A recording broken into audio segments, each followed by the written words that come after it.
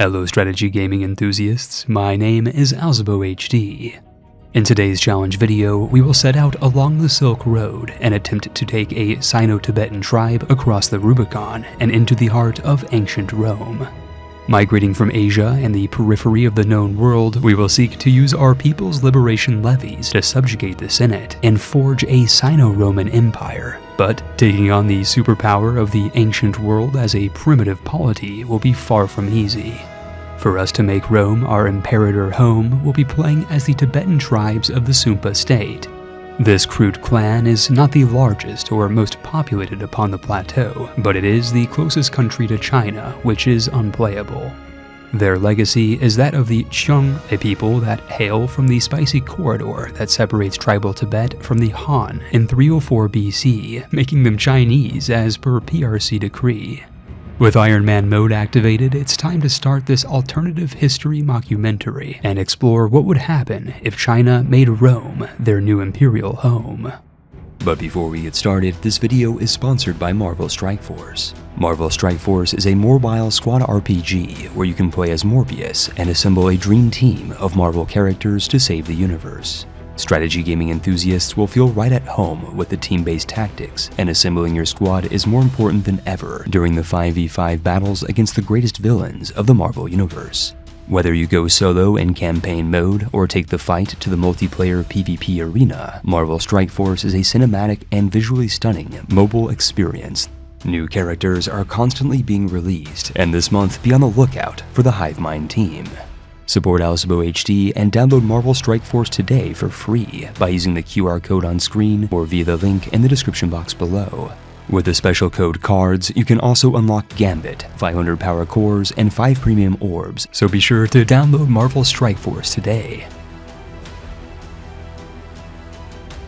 Now that we're back in 304 BC, the Sumpa start off their campaign as a settled tribe that isn't capable of migration. So the first step of our nation will be to abandon our sedentary lifestyle, which can only be done by taking our centralization to negative 25% or lower.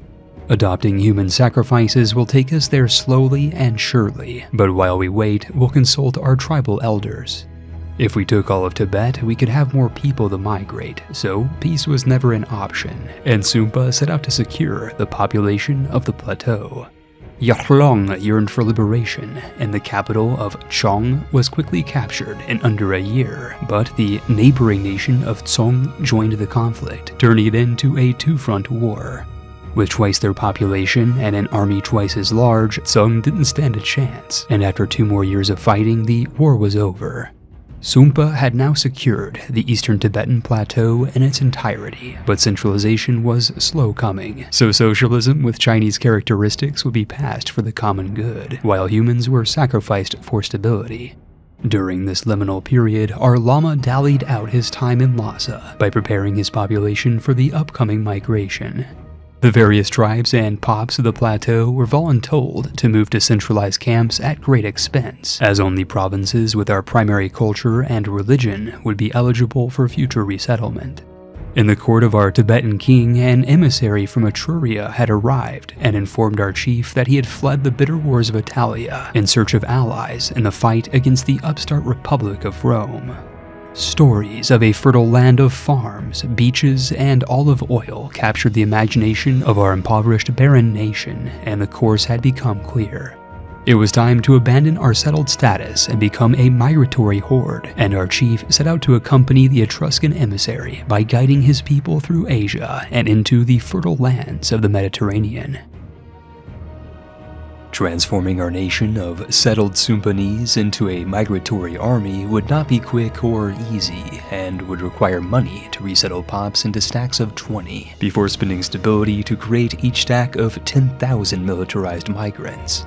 Not everyone was happy that they'd be forced out of their homeland, and our stability was sub-zero. But after six years of packing, only 10% of our original population of 200,000 were incapable of making the move on account of their religious or cultural status.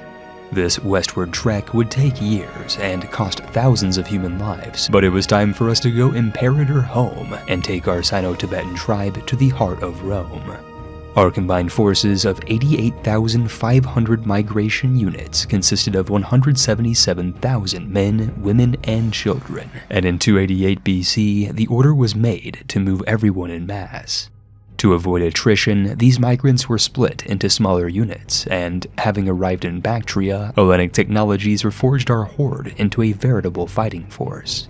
At this crossroads of empires, our tribe diverged into northern and western branches to ensure its survival, while our former home was sold off to the Nepalese for free, making our nation a migrant horde. Time was slipping into the future, and after four years, our people had hiked thousands of kilometers, passing through the divided realms of Alexander's once mighty empire. However, upon arriving in Europe, Rome had already grown far more than originally expected, but their wars with Gallic tribes presented a unique opportunity. The separatist state of Hadria had succeeded in seceding from the SPQR, but they could not have foreseen hundreds of thousands of hot singles arriving to mingle in the local area. What's more, Rome was now at war with Venice and Dalmatia and was thus distracted, providing our tribe the chance of a lifetime. More than six years had passed since we left our Tibetan homeland, and only a few thousand civilians had perished on the journey. At this point, the Sumpanese were as subtle with their intentions as any army with tens of thousands of soldiers on a border could possibly be, but it was time for us to abandon our peaceful pretenses. Armed bellicosity would become our modus operandi, and in 281 BC, our chief called for a no CB war with the goal of showing these Hadrians and their savage friends the power of Sumpanese supremacy. More than 100,000 Tibetan civilians poured into Italy, armed with only spears and wooden shields.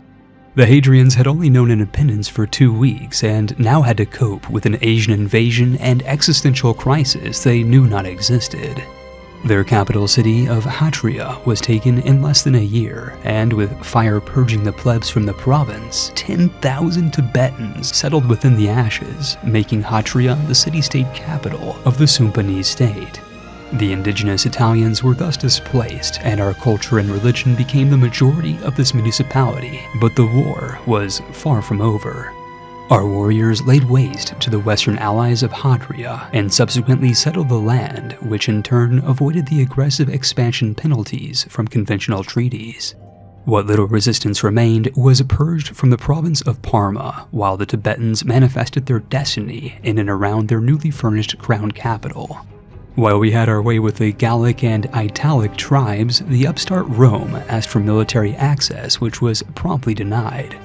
This land was our land, and the Senate had no power here, so we'll settle what we can and people these provinces with Tibetan hands. To our north, the Alpine area was all but annihilated, but the Roman menace had reached Venice by boat and occupied the province in its entirety. In the face of this Roman aggression, we had no choice but to fully annex the Ratian realm, the baronies of Boii, and settle the remnants of Cremanoia. In a little over three years, every Hadrian and allied barbarian were fully annexed and subjugated, and our Tibetan tribe of 167 pops, approximately 167,000 people, had found their new home in Cisalpine Gaul. Unfortunately, Rome had ravaged Venice and fully annexed the province, but a new war between Etruria and the Italic Republic presented a new opportunity. In keeping with the tradition of our people, this called for war, and with the Palpatine Hills under Etrurian occupation, our newly founded nation declared war on the SPQR with the goal of capturing Veneto. It was a boat time we built up a navy, and our newly established levies double-teamed the Romans from above and below. Entire cities were enslaved and massacred, holy Hellenic sites were desecrated, and hell hath no fury like a Asumpa scorned. With the power of mercenaries, the Roman auxiliaries were utterly outmatched, and Venice fell to our Sino-Tibetan tribe. Faced with Etrurians to the west and Asians to the north, Rome didn't stand a chance against the combined offensive, and their gods were thrown into the dustbin of history.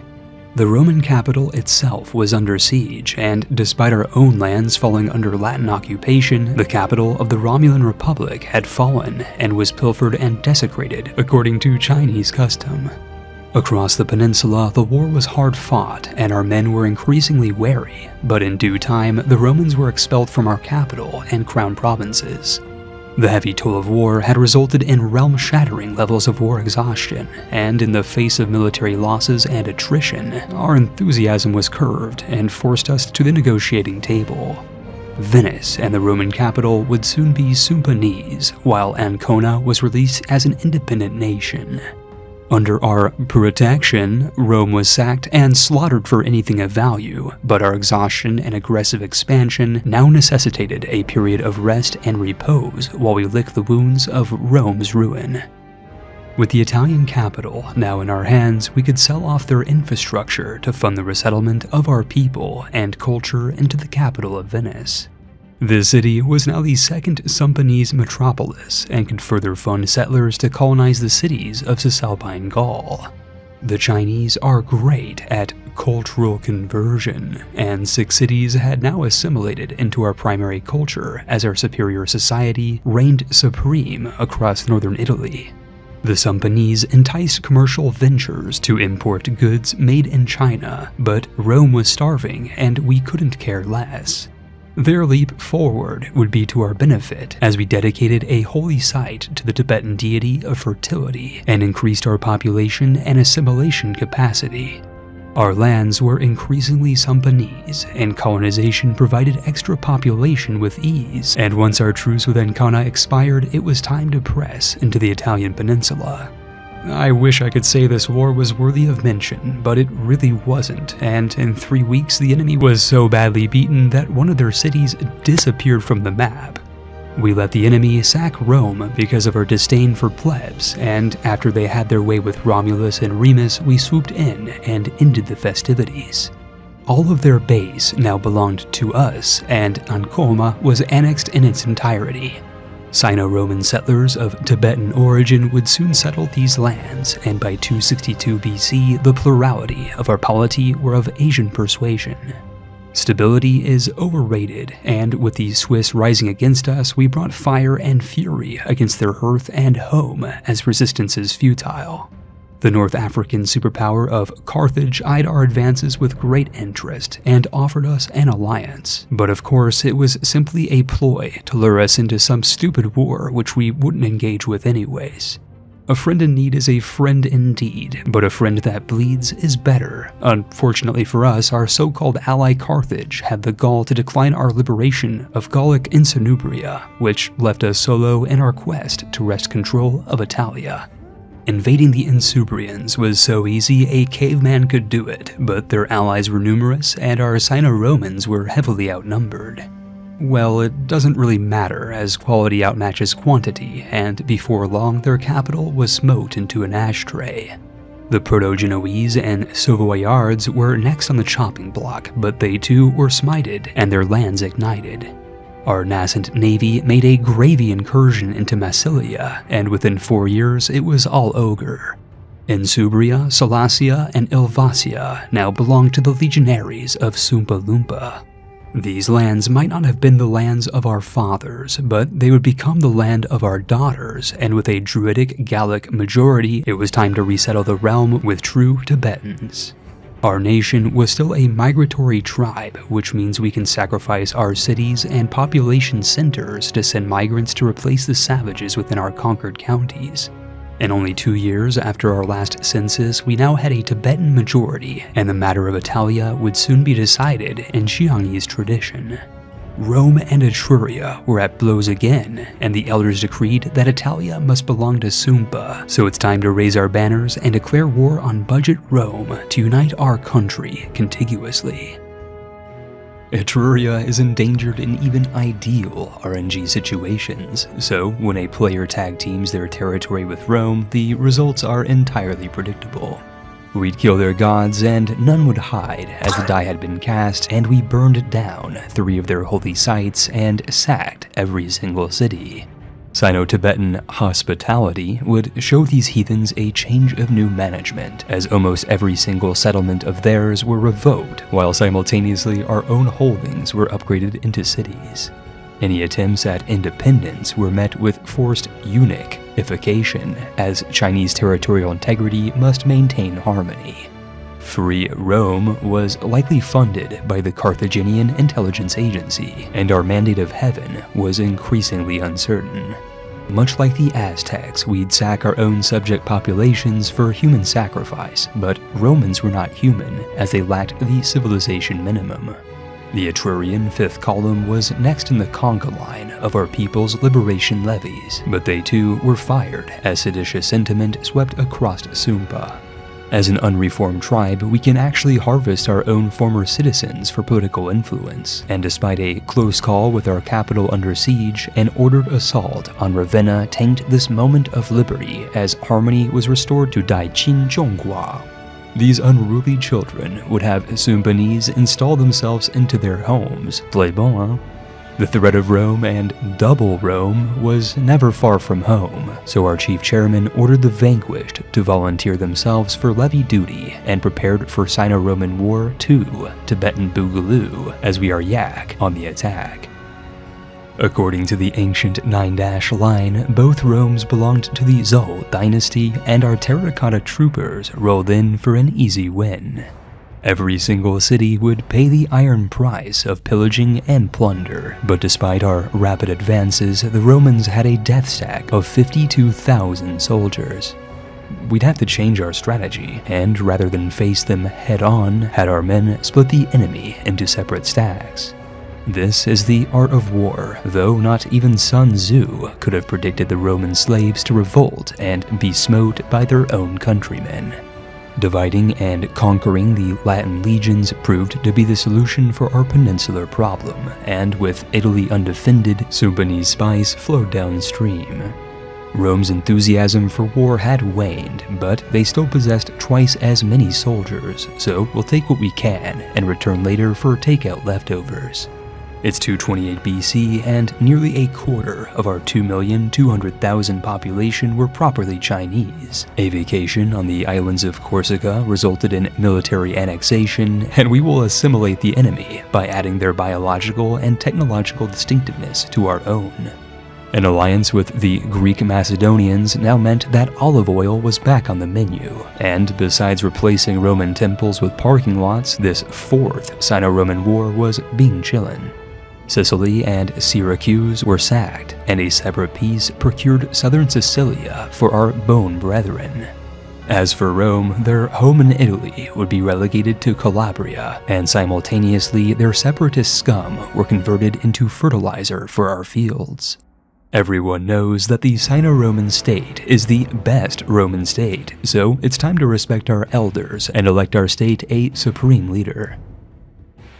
Our Northern Roman regime now had a clean slate with which to replace heathen faiths and beliefs with our own cult of personality.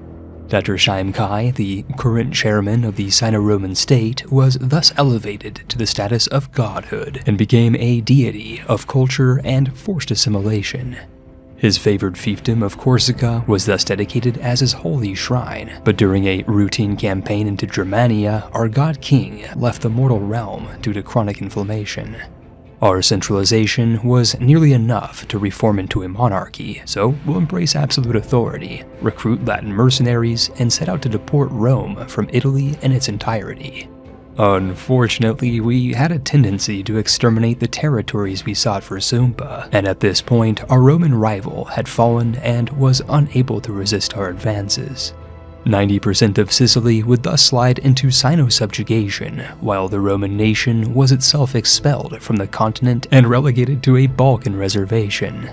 The time of migration had come to a close, and our state opted to embrace a tribal kingdom, but our aggressive expansion presented an existential crisis to our ascendant autocracy. Rebellions were running rampant, and we have a hundred more years to go, so naturally it's time for a montage, as Sicily was subjugated and claims on Illyrian Rome were obtained. Our boys were brought in by boat and captured the Greco-Roman capital, leading to the annexation of Dalmatia and Epirus into our Sino-Roman nation. Bohemia were the next to be broken, and after three years of grueling guerrilla warfare, our final eastern borders were established in Austria. Tribal reform was sweeping our nation. Sardinia was smashed and grabbed from Carthage, and absolute rule was declared in 171 BC, making the Sumpa Roman monarchy enshrined within the Sukor dynasty, itself elevated from tribal obscurity to the seat of ultimate power. Constant revolutions and uprisings were tearing apart our nation. Cultural dissemination began to turn everyone Chinese, and our capital was starving under the Great Leap Forward towards the future. Country roads would thus lead to Hatria. The passing of the Royal Guard law meant that the Yak Enforcement Squad became our permanent military, and there were like 15 more uprisings while we sped ahead at speed 5, with our ultimate goal being the indoctrination of every pop into the Bon religion and Tibetan culture. Druids had no place in our polity, and Vocantian lands marked our final western border. Our king died from eating a particularly rotten herring, and Hatria became a metropolis of over 175,000 people. This Sino-Roman state needed a great wonder worthy of our majesty. I spent like three real-life hours moving pops around to produce a Sumpanese majority in every Italian province. That was pretty annoying. And at last the plug of Hatria had been completed, reminding the realm forever of how much a pain in the Asina it was to assimilate everyone into our Sino-Roman syncretic culture and faith. In 630 AUC, better known as 124 BC, the Sumpanese Tibetan realm is the preeminent superpower of the ancient world.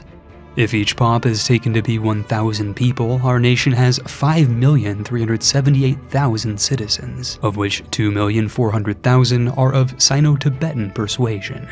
Nearly 90% of them worship the Bon indigenous Tibetan religion, and approximately 50% of all of our subjects are of Sumpanese Asian ancestry. Every holy site not belonging to Bon has been burned away, and seven holy sites dedicated to our faith are fairly proportioned throughout the polity, with that of Corsica worshipping our eternal leader and deified god Datzerheim the German. When looking at a map adjusted for population, nearly every European province with people belongs to the Sino-Roman Imperium, with our capital in Hatria hosting 214,000 people, which is by far the most populated polity in the ancient world.